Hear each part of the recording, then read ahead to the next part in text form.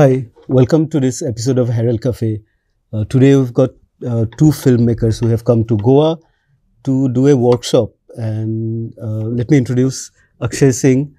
He's I know him from his uh, first the Konkani film Azma Kya Falya Tuka that you made, and also one of his award-winning films called Mehsampur. It's about a film director going back to his life, doing something again. I'm not going more into that film, but yeah, this is Akshay.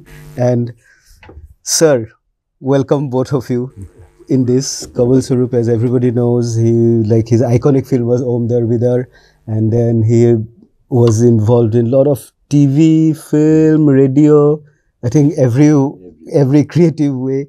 And uh, Tracing Phalke was his another documentary. Yes. Yes, like that. And yes, uh, welcome to this Herald Studio, and thank you for your time.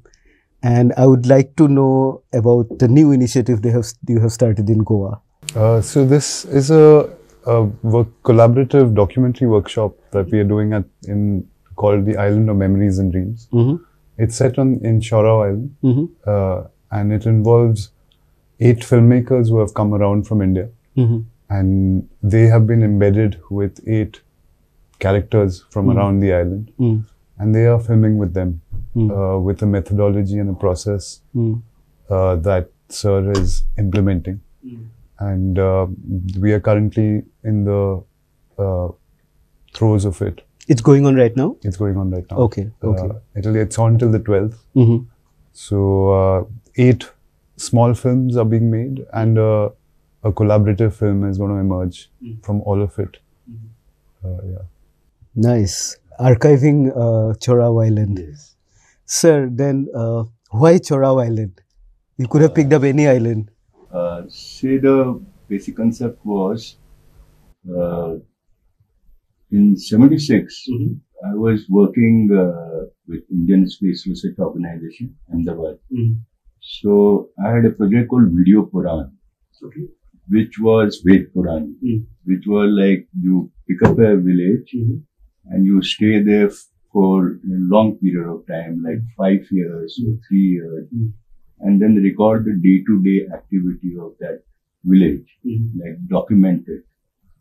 On a, um, like writing a novel mm. about that, and where the villagers will also participate. Mm. Means they see every day what they, uh, how they are recording, and they participate. It's an interactive kind of a documentation of that village like the everyday calendar we record, you know, because the they, in the calendar there's a day-to-day activity, there are rituals, there are uh, crafts, there are births, Mhm. deaths. So the basic this experiment was done. Mhm. The document is still with the Indian Space Research Organization. So it was a one village. It became like a lab. Can I interrupt and ask, like, why is a, a space research organization is interested in a sociological project like this? because they were collecting uh, anthropological data and the other data about uh, a unit, you know, a Mm. village unit, Mm. and what kind of a dynamics takes place Mm. in a village.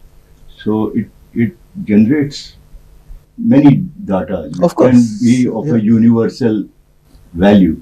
That kind of data because it's a very close study hmm. of a village. Village, So it's a microscopic study. Okay. So since it's an enclosed space, hmm. so you can focus there. You know, it's and there is a certain order in that village because of its in, it's in you know enclosed space, hmm. And within that there is a interpersonal relationship. So it generates fantastic kind of a. So it's a nice way to study the uh, uh, village life. So I think uh, that is why you are replicating that model into Chorao and Not now Okay. it'll develop. yeah. So uh, that was the concept. Mm. Then there's a novel Mhm. called Hundred Years of Solitude. Gabriel Marquez. Yeah. So there he talks about hundred years Mm. of one place, Mm. its memories, its fantasies, its day-to-day life, Three, its four objects, generations. Yes. and everything coming in this Mhm. small place. Mm. and going out from this. So it's a mix of, it's like the consciousness of that place, a historical, mythologizing, or a fantastic version of it, and a great way of writing a novel about a, a whole community. So that was the one more concept we were like we were initially saying we'll do the reading of the novel so these guys can get Mm, get a taste of it, Ah, yeah. taste of it. So that feel and that novel was because we said you know it's a Latin American company. Uh, uh, Set in yeah there. so maybe here Mm. in Goa. Mm. Then it was the idea of which island or a village. So he had suggested one thing, but then he said, "No, Kamal, this uh, village or this island is more beautiful and and more open and uh, more more potential." The reason he gave is that it's an island of the what is the word? Ilha dos Fidalgos, island of Fidalgos. Yeah. And you said no, the island of Ha. Yes, correct. Means the nobleman. And then the history began from here, the Jesuits and the printing press. So I thought, uh, thought this place had fantastic. Yes, potential. Chorao is steeped in history, starting from Pisor Avalnath that we know about it now from there. Then, uh, Akshay, like you said, it's an immersive workshop. What do you mean by immersive workshop? Like how? The immersive, uh, the nature of it is not based in theory, but but uh, being immersed in the practice of it. So right from day one, the participants were engaged in a practice-based workshop uh, where they were thrown into the deep end with their characters and understanding the situations of their characters, uh, considering the varied backgrounds that they are also from. Some have come from the cities. Uh, two, three of them are from Goa. There's one participant who's from the island. Okay. So uh, uh, there was a, a, uh, the starting point was being fully immersed within the island and its culture and its traditions. Uh, So for that, you have uh, studied a lot of uh, books on Chorao Island, Chorao history, yeah. something like so uh, papers, academic papers were shared. There's a very interesting uh, uh, academic called uh, Angela Barreto Xavier. She has written a fair bit. Uh, she's done papers on Chorao and its history, uh, its transition uh, with the Jesuits coming, what happened to them, um, and uh, also taking oral history like from Joe, etc. Uh, we could. Uh, I'm sorry, I forgot the question. No, like uh, where where where have you done your research for sort of before getting into this immersive workshop? So there were there were texts, both academic uh, and uh, and literature, uh, which was there about Chora, which we dug out. In fact, there was this very old book which no one had a copy of, which we found with uh, Salil Chaturvedi. Uh, that he had one copy, which is just pages. So that has been shared, and that's probably the oldest uh, book about Chora, Nice. uh, which is And, there. and academia has a lot of uh, papers on this. Yeah. And so that was one thing about the island, but also we wanted to see the nature of an island. So there are a lot of studies on on islands per se. You know what the what is a crowd within an island? What is the psychology of an island? Uh, so this was collectively shared and read by us and the participants before we came here. Actually, before we started. because because of its uh, I think um, what I gather from you that you have chosen Chorao because of its history and because it's like a small place where it And is geographically. geographically small place and a complex history of it you know Because it's Like- yes also. yeah and uh, how uh, you said eight filmmakers and eight characters from that village why is this number eight and what is the criteria of whom you have included in the film So the number eight was coming from Sir's process. Uh, Okay, tell- can you tell us more about it? so it's like an infinity Yes. Two islands coming together. with eight. Okay, okay, all right. Okay, I'm trying to And- and figure it out, but okay, And a ferry in between. right. yes. There's a lot of artistry in that. Yeah. So- and huh, and how, how did you choose the island isl- islanders the to act in this film? Are they acting in the film or No, how how are, how are you? he, yeah. he, he, he did the process of choosing not choosing he we had that okay suppose you want to represent the island so Mhm. you have to represent the island through the various crafts various activities so you have you point out the this location will be represented by this character or this aspect of community will be represented by this character Right. so either you choose a different Mm. location or a geographical areas, Mhm. or then you find a representative person for that craft or Got for that piece of Mm. uh, community or that side of community. So so that the it represents the whole village you know, or whole island, and they get interconnected. Then you have private spaces Mm. community spaces, who represents the church, so you have to have a priest, who represents the different craft, you have a Prajapati Vishwakarma representing somebody, who represents the entertainment industry, so you have a Angelo, Mm. you know, yes. like that. Then you have various uh, you know, represent, representative character Mm. and a location, representative, and they converge into public spaces Mm. where the whole they become Mm. a community. Mm. So that was the mapping in a mindscape. Got it. And how how are the islanders uh, uh, approaching you or taking taken you as like like how how they're in, involved They in were this? as uh, enthusiastic and uh, excited as we, as the participants were, Mhm. because they wanted to be a part of this whole process. Mhm. Because it's almost like they are making it. Mhm. So it's an island production. Yes.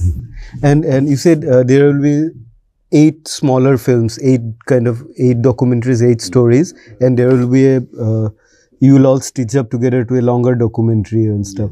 What will be the outcome of it? How do you see the future of So this film? So when we set out, uh, we had clearly said that uh, that the eight participating filmmakers they can they will make small individual films with their subjects, Okay. and uh, Sir is also filming. Mm. Uh, he's filming them. He's filming the characters. So he's filming for the larger collaborative film because it's a collective. Mm. We've come together, uh, eight, nine, ten of us. Um, so after they are done with their individual films, that data is being collected in one place for a collaborative film, which won't have those, which won't have the structure of a singular kind of films, but a larger collective consciousness in one, in one piece, which would be a larger film. We are uh, framing the whole thing. Okay. means participants, villagers, and everything like a large canvas, Mm. like a narrative canvas. Mm. Within that, these eight films Mm. are microscopic study, Mm. going in depth. Got it. So we are, you know, like a larger frame, Mm. and these guys are going microscopically, Mm. creating a depth. Got it. That is the dynamics between the uh, means what we doing Mm. From outside. Mm. They are going deeper inside. Wow, I can always I, I can see it like a canvas with a 3D imagery now. Yes, it's almost like that. Mm.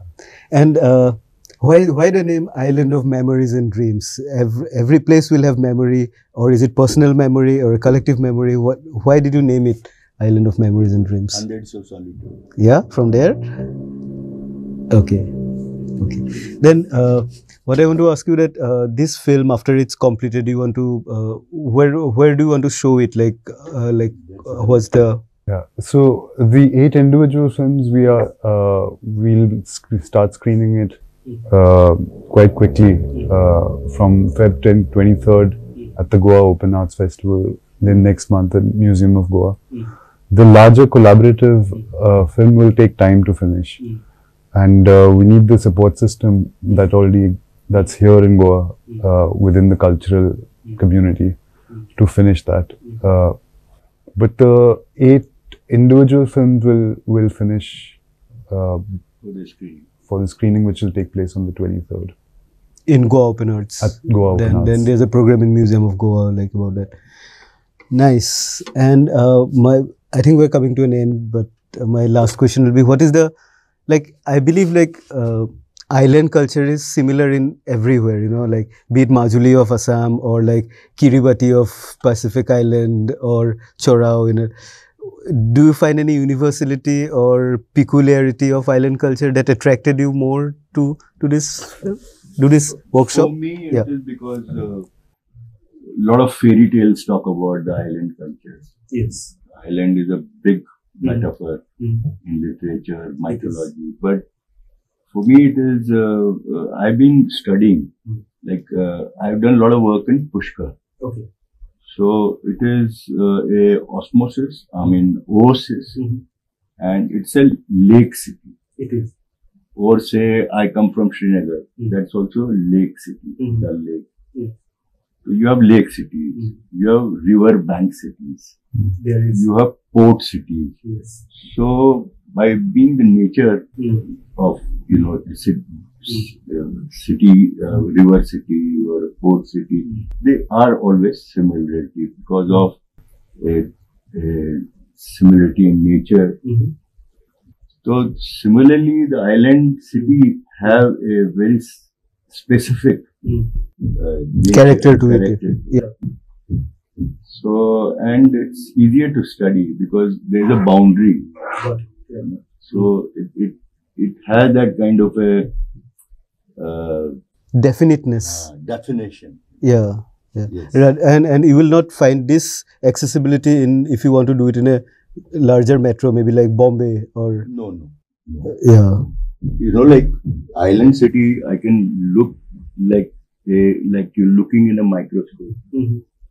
But port city, you don't have that kind of a microscope or a river city, which will elongate. You know. Okay. It has a different shape. You know, river city will they'll go like this, Yes. Or lake city uh, will have a lake and will have Surrounding. Yes, by that. Yeah. or they can have a boundary of the mountains. Yes. Yes. So here it is a fantastic. Mhm. It's easier for you to handle production wise also maybe. No, it's a, it is a s- it is, it is a different sense of beauty. Yes, it is. Yeah. What we're looking for is not the easiness of it, Mm. but a kind of a if you with a painter's eye you see that canvas, there's a sense of a different beauty. Mm. So, like the participant also, you know, it's not for them to gather information, Mm. but get the spirit of the place, get the spirit of the uh, character, get the you know spirit of that air. That's why Souza, you know, because the Souza was giving us Mm. a bit direction to look for that spirit or how to compose that spirit. Knowing the competency of both of you as filmmakers, I am sure this will be a nice cinematic archival or uh, hope so. yes, mm-hmm. we really hope so too. I'm looking forward to see that and understand the island from a maybe a different perspective, from your perspective, from the perspective of those eight, eight islanders and whatever we know from the academia or like reading about articles, I think it will be a fresh new look into the islands. Yes. Thank you for whatever you are doing. I hope it will turn out to be very good and up to your expectations. Yes. And uh, another two more days for your workshop, Uh, Yeah. It's on till the 12th. So now Okay. three more days. Yeah. three more days. And uh, first, you will be uh, premiering in uh, Goa Open Arts Festival. Uh, the eight films will be there. Yeah. The larger film we'll premiere it later. Yeah. Thank you for your time and all the best for your project. And I hope the audience could see this film and looking forward to see Chorao Island with a new eye in a kind of a cinematic archival documentation way. Thank you all. We'll see you next week.